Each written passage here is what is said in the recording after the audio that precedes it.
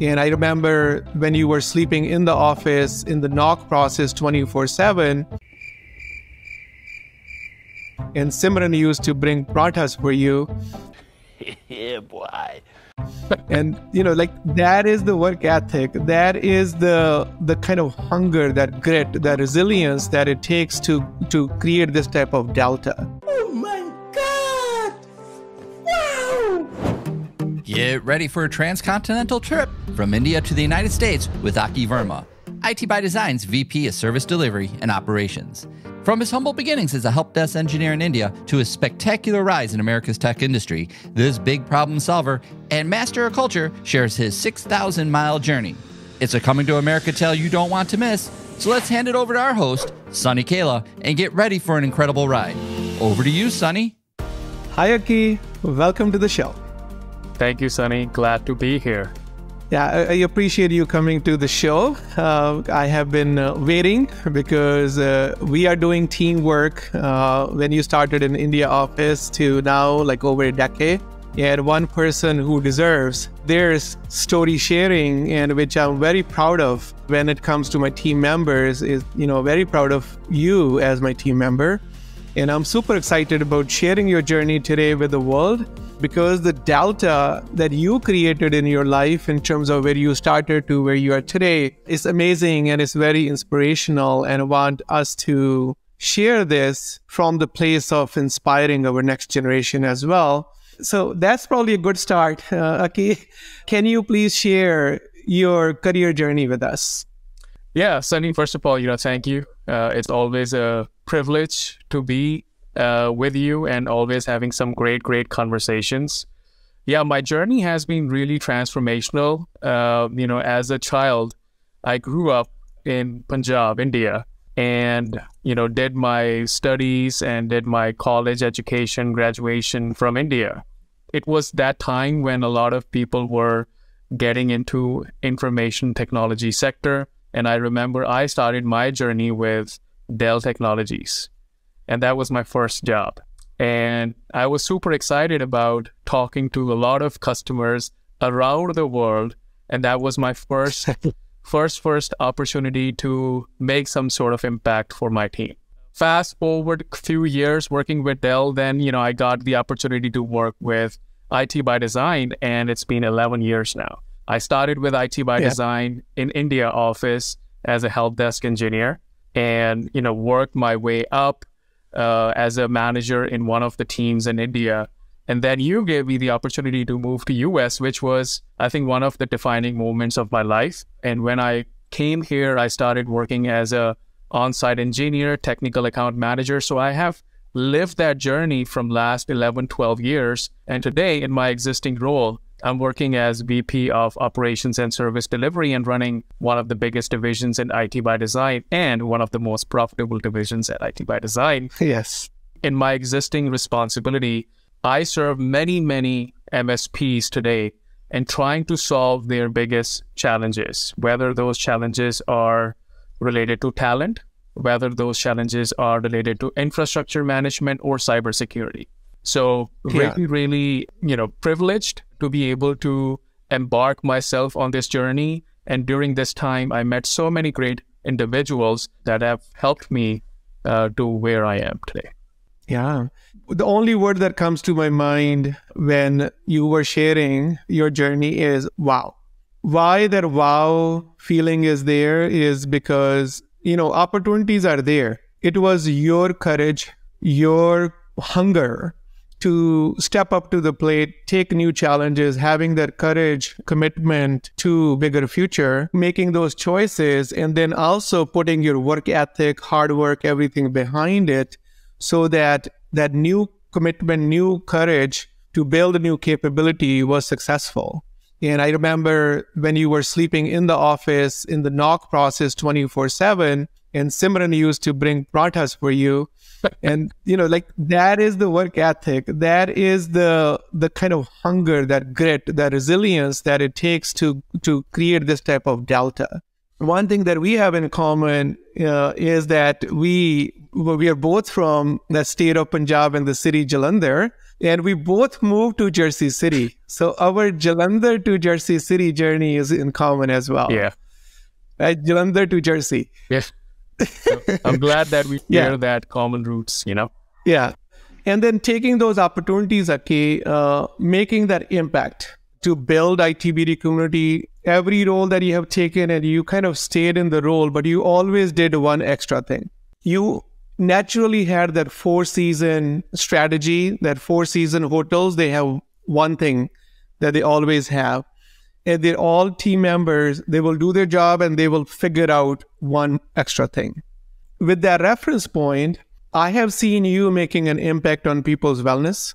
You are a student of wellness, you are very passionate about it. And in your role, the way you impacted people is not only doing your job and doing your activities and leading them, but it's also leading them from their mental health perspective. And whenever we have, like, you know, for example, with the Philippines, whenever there's a company need that someone needs to do something extra, you always say, okay, Sunny, I can do this. Yeah. I can take on this. And you are not afraid. There's no fear of taking something new and failing. Right? Yeah. Yeah. The, you are not an HR expert, but you had the courage to say, hey, I'm going to do that one extra thing to see how we can build the HR structure in Philippines. So I think that's one more piece that uh, I wanted to just share from the journey that the only way to create that type of delta and that type of impact on your team members, on your company, whatever you are doing as your work activity to make an impact is have the work ethic and have all these, you know, humble, hungry, smart, all that good stuff behind that. And that's a nice segue to ask that question that what are your top three life lessons that you have learned uh, along this journey? Yeah. Since we're talking to, you know, our future generation, people who are probably graduated and coming out of colleges or they are, you know, in one or two, three, four years of their journey, I think the number one thing that helped me and that helped a lot of people that I talk to is gaining clarity, right? In your personal and professional life. That is the number one life lesson that I want to share with our future generation is take some time out and write down your goals, write down what are you up to in your life and Mhm. and imagine and manifest and be very intentional about working towards that. So be intentional. Be intentional. Yeah. So can you talk to me a little bit more? Like, you know, so when people will, okay, I want to be intentional, what are some things that they can do to be more intentional? What are the tools available? What are you doing that helped you adopt this a little bit more and had you make progress in this area? Yeah, uh, I think the number one thing is to really know uh, your domain, right? If Mhm. if you're supporting a certain domain, let's say, you know, for example, if you are an engineer and if you take the time out, what is your next step in your journey? Is that Yeah. to become a solutions architect? Right? So just taking that understanding and clarity is the number one thing to be intentional because intentions and momentum will build once you take the time out and understand where do you want to be in your life that's one thing that helped me a lot and being curious about things in life right i always ask a lot of questions to a lot of people that i work with so that i first of all i gain a lot of information about what are the biggest challenges that my team is facing and then putting myself in that position where I Mhm. can become a team member who can help them solve those challenges. So that's the second life lesson that I want to share with with our team members. And what's the third one? Um, the third one is, you know, just summing everything together uh, that you have to be the CEO of your own life, right? Mhm. you have to architect your life. So take the time out and have that courage that you mentioned initially. Don't be afraid to fail. You know, people who fail are the ones who are trying a lot in life. So don't be afraid to fail and show that courage when you go and put yourself into those positions where you make a an intentional effort to solve somebody's problem, business challenge, a technical issue, or overall something outside of your own day to day. Take the risk. and Yeah. and show some courage. Yeah, th- th- those are great lessons. And when I reflect on your journey, my journey, these lessons did help. You had clarity when it comes to your intentions, right? When you were working in the Chandigarh office, you knew your intentions and you knew what you were up to, what you want to achieve uh, in terms of your personal vision of success right? And you had that ambition, that hunger, work ethic that you showed. That goes to your second learning that you were always trying to be valuable. So you created more value with those intentions, creating value for team members and value for the company that you support and curiosity. Like, hey, I want to just go beyond India and then talk to people all over the world. And you knew who you wanted to be hero to. Not being afraid of failure that you mentioned as a third point, uh, you were not afraid of uh, things that normally a lot of people are afraid of moving out of the country.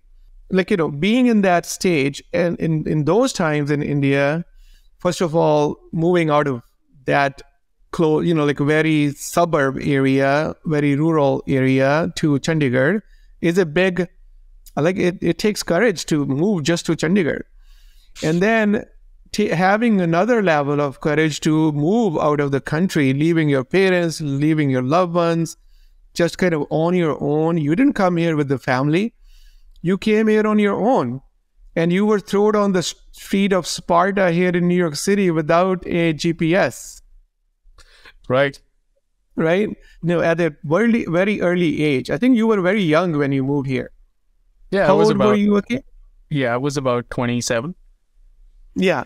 So at that age, just moving on your own to the probably the biggest city on earth from probably the slowest city on earth, which was Jalandhar, in comparison to Jersey or New York City Metro. So was, we were right next to the Freedom Tower. Yeah. And and it's like, you know, you require a lot of courage, a lot of discipline, a lot of like, you know, appetite for risk to do that. So I think there is just so much connection of these three lessons with your life and really where you are, what we what we were talking about in the in the beginning in terms of you creating the delta so far. Uh, with the resources that you have today, with the 25 year framework thinking that we started, this is how you can really unleash your full human potential, right? Yeah. Everyone can do that, especially in the age that we live right now with information being available to us. So, Aki, thank you so much for coming to the show and sharing very, very valuable lessons that intentions, be intentional, uh, be valuable, and don't be afraid of failures. Those lessons are really, really high impact lessons if one can take action and adopt into their way of life.